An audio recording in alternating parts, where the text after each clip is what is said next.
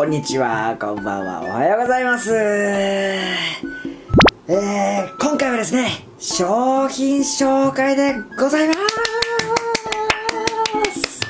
えいつもはですね、ダイソーの商品を紹介させていただいたのですが、今回はですね、これから冬に向けて、私初心者キャンパーが購入したものを紹介したいと思います。早速なんですけれども、こちらですね。ドンえー、電、充電式湯たんぽか。充電式湯たんぽと、こちら、充電式回路でございます。タバコが横に置いてありますけども、サイズ比較してください。はい、こんな感じですね。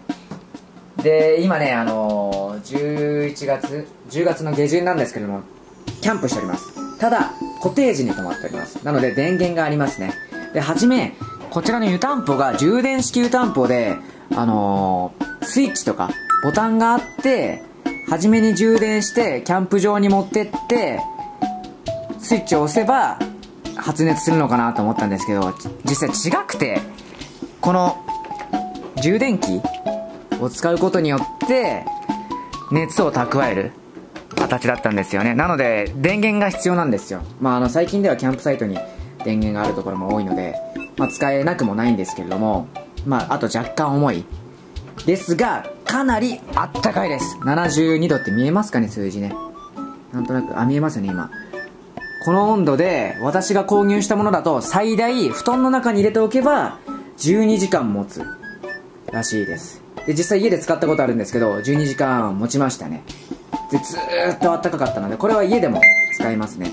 で、ただ、電源が必要というところで、えー、後日またこちら購入したんですよこの回路これはあの USB で充電できるんで持ち運びも楽だしでいつでもオンオフの切り替えもできますので非常に便利ですね。金額も両方ね2000円ぐらいだったかな。ただこっちだとね体感478度。この湯たんぽの方だともう結構熱くて持ってられないぐらいになるんですけど、これはずっとこう、一番下の電源、えー、っと、3段階あるんですけど、強さでも一番下の強さでも、まあ、ずっとこう、普通に北海道を持ってるような感覚で使えますね。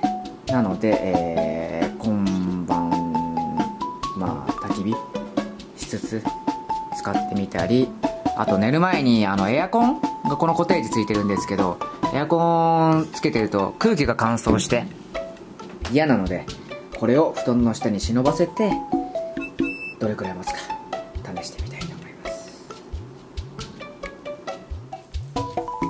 はい。ただいまキャンプ中ですね。今日本当に寒いんですよ。7度ぐらいしかなくて7度8度かな。で今これ使ってみてるんですけど電源をオンにしてすぐぐらいからだいぶ一気にあったかくなるんでこれはね結構いいっすね。本当に。持ち運びも便利なんでね。これはいいな。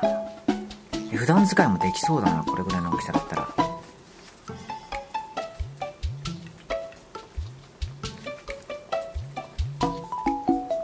ではこちらをですね先に布団の下に入れといて温めておくと。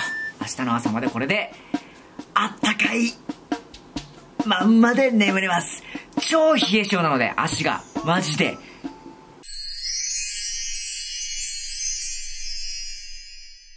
え、おはようございます。えー、っと、昨日の夜何時に入れましたっけね？あの、湯たんぽ。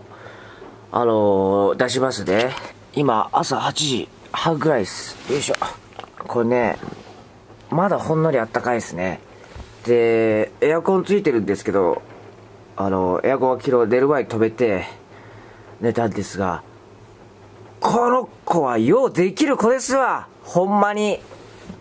すごい良かった。これほんと家でも使いそう。ただやっぱりキャンプ場とかだとあれですね。電源がないといけないのがたまに傷ですけどね。だからどうするんですかね。あのお湯を入れた湯たんぽを使うのが一番いいのかな。ただあれ結構お湯入れなきゃいけないんですよね。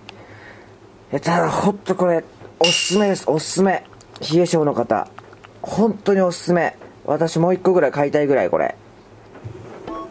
はい、というわけでですね、机の上が汚くてすみません。えー、こちらの商品、2品ですね。